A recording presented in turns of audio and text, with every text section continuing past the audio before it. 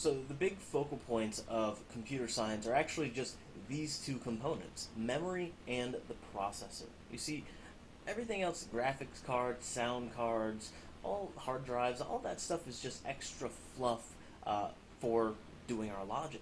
You see, the processor, we like to consider this the brain. This allows us to do all of those uh, kind of complex logistical kind of approaches. So how does it all kind of come together? Well, the processor. The processor actually kind of breaks down into uh, two separate portions. The first portion is what we call control logic. What happens is, let's say I have a simple program.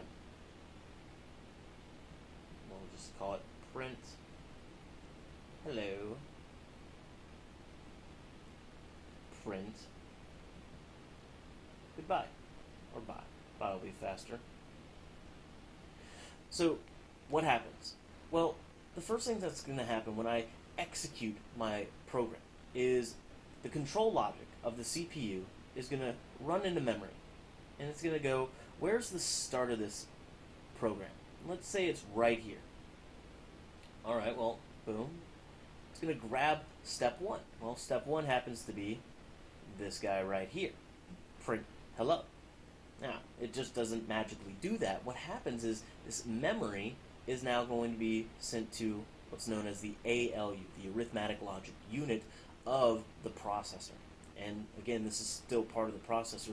This is actually where all of that logic and uh, analysis and doing of things is actually going to happen. Now, print, it's a little more complex, but what it will do is it'll display the information to the screen. Then it moves back up and says, I'm done. Well, maybe.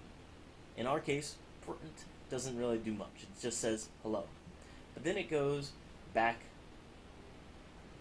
to the control logic and says, all right, well, the next thing is go to step two. Step two, well, it happened to be right here. What was step two? Moves to it, takes that information right there, moves it to the ALU. ALU does its stuff, moves on. Let's say, for example, I added another step where I said x equals 5. We'll get into variables a little later, but now all of a sudden I want something stored for later use. I want this. Well, the same approaches are coming into play. I want that 5 right here in memory.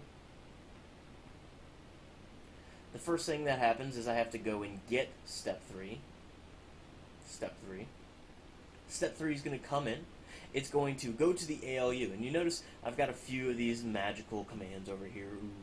Uh, but what's actually going on is they're just simpler terms about what the ALU is doing. And in fact, when I say move, for example, move, the binary notation of 5, uh, which, let's see, carry the 2, that would be there, there, there. There we are, that's 5. Uh, take that, put it right here. Then move to the next step. Since we're done, our program is complete.